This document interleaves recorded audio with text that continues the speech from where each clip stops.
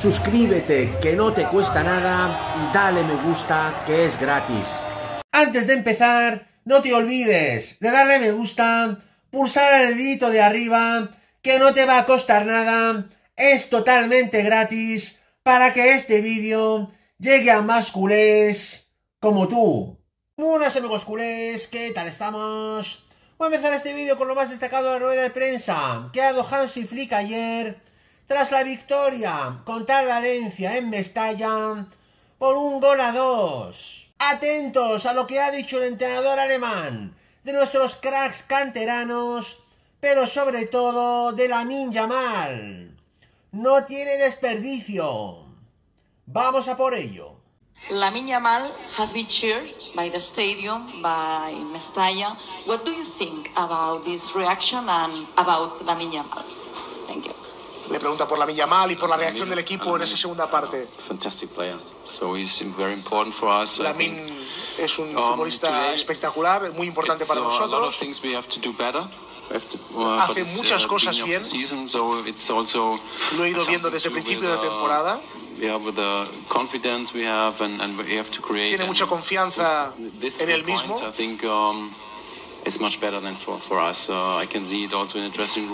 Cree que uh, son muy importantes estos tres puntos para el equipo, para nosotros. Es una gran lucha, una gran batalla la que hemos tenido que pasar aquí en. Mestalla y salir victoriosos para nosotros es una auténtica pasada. Uh, there was a, a high intense match, and uh, at the end, Un, un partido muy intenso, especialmente desde Adrián. principio a fin y que están muy contentos de haber conseguido superar esta batalla tan complicada de Mestalla. la cadena SER. I would like to know uh, why did you choose Rafinha to play today uh, behind Robert Lewandowski in different position, and if you see also Lamine Yamal playing on this position. ¿Ves a la Mal jugando la posición que hoy ha jugado también Rafinha? Dice que um, evidentemente que es una opción, que por qué no. um.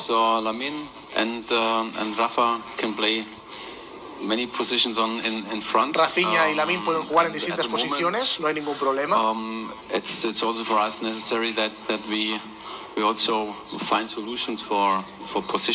Um, Tiene distintas soluciones do y posiciones y futbolistas para estas eh, situaciones, así que está muy tranquilo en este, um, en what we este aspecto. focused for the next for the next week. So we have uh, a whole week Ahora hay que centrarse en la próxima semana, en el próximo um, partido, para intentar jugarlo bien, para intentar jugar con los mejores.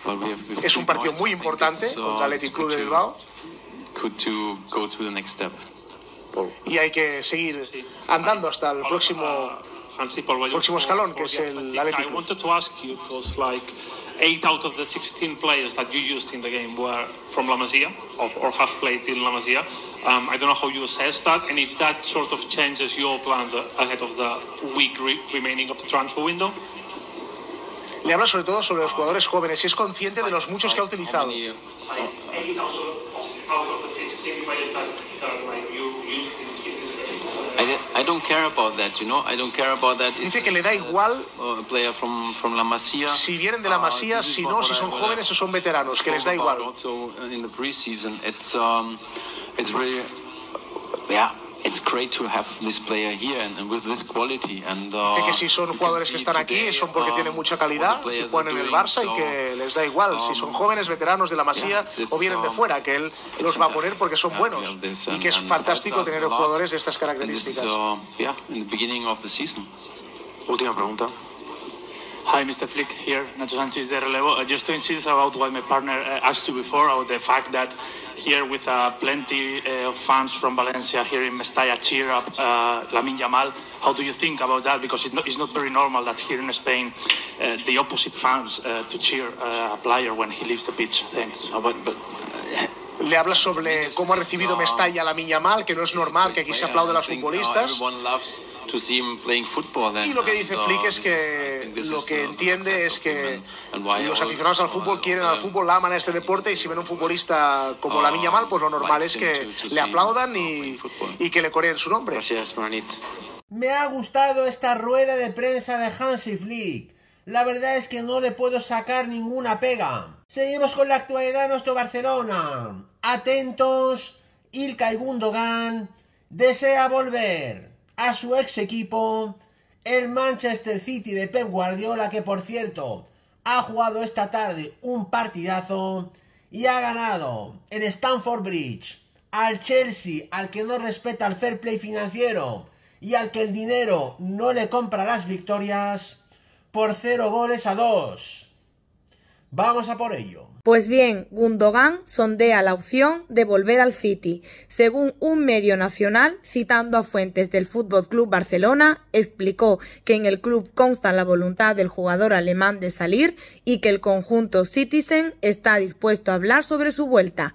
El futuro de Ilkay Gundogan en el Fútbol Club Barcelona está ahora mismo en el aire, pese a que el centrocampista alemán tiene contrato con el Barça hasta junio de 2025 y que desde su entorno aseguran Gundogan no tiene intención de salir, lo cierto es que la incertidumbre acerca del alemán sigue creciendo. Según informó el mismo medio, citando a fuentes del Barça, Gundogan habría pedido al club salir y que días atrás contactó con el Manchester City, su equipo hasta el verano pasado, para sondear su retorno al Etihad Stadium. La misma información detalló que el equipo que entrena Pep Guardiola estaría abierto a completar la operación de regreso de Gundogan, una temporada después de que se marchara.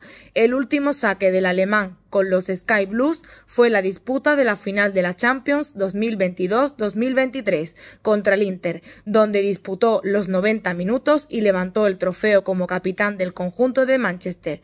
De hecho, los Citizens intentaron retener hasta el último momento a Gundogan, pero el alemán optó entonces por fichar por el Barça. El centrocampista alemán se convirtió en protagonista inesperado en la convocatoria del Barça para viajar a Valencia y el club azulgrana justificó su ausencia con un comunicado en el que se exponía que el jugador Ilkay Gundogan no entra en la lista de convocados por precaución a consecuencia del golpe recibido en la ceja durante el partido del trofeo Joan Gamper. Tras el partido fue el técnico del Barça, Hansi Flick, quien admitió que habló con Gundogan, pero dejó en reserva la conversación que tuvo con su compatriota, añadiendo que tengo la sensación de que Gundogan se quedará. Con el fichaje de Dani Olmo más la presencia de Pedri y Fermín, la posición de media punta está más cubierta en el Barça. Si bien Gundogan también puede actuar como uno de los dos pivotes del equipo, en esta segunda temporada el salario de Gundogan aumentaba con respecto al curso pasado y ante esta situación el club no vería con malos ojos una posible salida, teniendo en cuenta además que el alemán tiene 34 años. Yo esta información ya la conocía, simplemente que no tenía tiempo de publicarla. Ilkay Gundogan ya estaba conversando con Pep Guardiola antes de finalizar la pasada temporada con Xavi Hernández. Y ahora sí vamos con el temazo principal, bombazo de última hora. Pep Guardiola acaba de confirmar la verdadera bomba veraniega del Barça. Una fuente deportiva muy importante acaba de asegurar que Pep Guardiola ha propuesto un brutal trueque al Barça y es el siguiente. Ilkay Gundogan a cambio de un crack del Manchester City que jugaría en el Barça de Flick esta misma temporada. Se trata de nada más y nada menos que del brutal extremo internacional belga de tan solo 22 años de edad, Jeremy Doku. La misma fuente afirma que el Manchester City de Pep Guardiola estaría dispuesto a vender a Jeremy Doku al Barça a cambio de Ilkay Gundogan más 20 millones de euros. Os digo una cosa, si finalmente el Barça no logra fichar a Nico Williams, no hay mejor candidato en esa banda izquierda que Jeremy Doku. Estaremos atentos a los acontecimientos. Esta ha sido mi grandísima noticia de hoy, amigos culés. No os olvidéis suscribirse a mi canal, que no os cuesta nada pulsar un like como siempre y dejarme comentarios para cambiar opiniones. Muchas gracias. Forza Barça por siempre. Vamos a por todas. Y nos vemos muy pronto en mi próximo vídeo. ¡Vamos!